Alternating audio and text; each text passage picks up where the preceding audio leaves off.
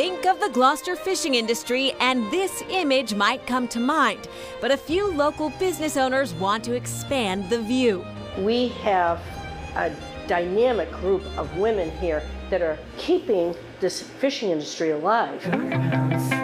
Melissa and Donna Marshall are two of those women. They own Cape Ann Fresh Catch, the largest community supported fishery, or CSF, in the country. Community supported fishery is very similar to uh, community supported agriculture. So you commit to buying a share and supporting the fishermen for a season. We buy local fish.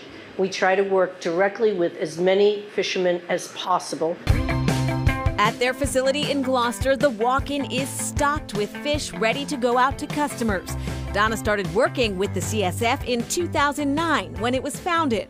Cape Ann Fresh Catch got its start with the Gloucester Fishermen's Wives and various other organizations that assisted them because they believed in creating a just economy for the fishermen and giving the best product possible right from Gloucester, the oldest seaport in the country.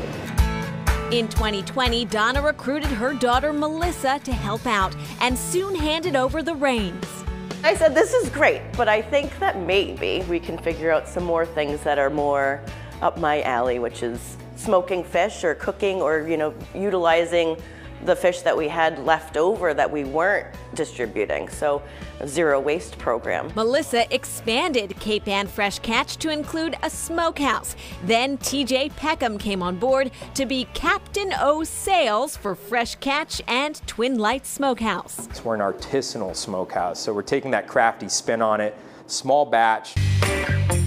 Today we're going to be making our smoked salmon spread. We used to make it 18 little ones at a time and now we've jumped up and we're making about 250 a batch. We didn't want to waste, so the beauty is we always have leftover salmon at the end of the week. So it's a very easy fish for us to smoke. For the entire team at Cape Ann Fresh Catch and Twin Lights Smokehouse, supporting the fishery means supporting the community. I think that if more people were understanding of what's available locally, that they would stop wanting to get stuff you know, on the cheap, you know, instead of right. having something delicious, spend a few extra dollars and get something that is fresh. When you buy a piece of fish from us, you're paying the mortgage of your neighbor. A similar philosophy guides Cape Ann lobstermen on Gloucester's Inner Harbor. And it started just with three boats. My husband's a lobsterman, and he always wanted to sell his own lobsters. He had a couple friends who wanted to see a change in sort of how the lobster industry was going in Gloucester. And slowly, season after season, we've gained boats up to around 100 that we buy from now. Owner Tessa Brown started the company in 2017 as a wholesaler of live lobsters and crabs. They now ship North Shore seafood all over the world, and the impact is felt on the decks of Gloucester fishing boats. It's raised the overall average price to the boats, and so everyone sort of had to elevate to more of a fair market value of what the lobster's worth. We just kind of work with what is a fair price for everyone so that everyone can keep operating with such high operating costs. Cape Ann Lobstermen is a round the clock operation with workers packing shipments of live shellfish at all hours of the day.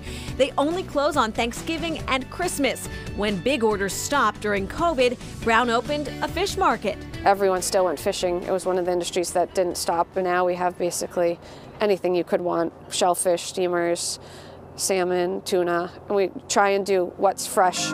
Brown also opened a seasonal restaurant in the summer of 2023.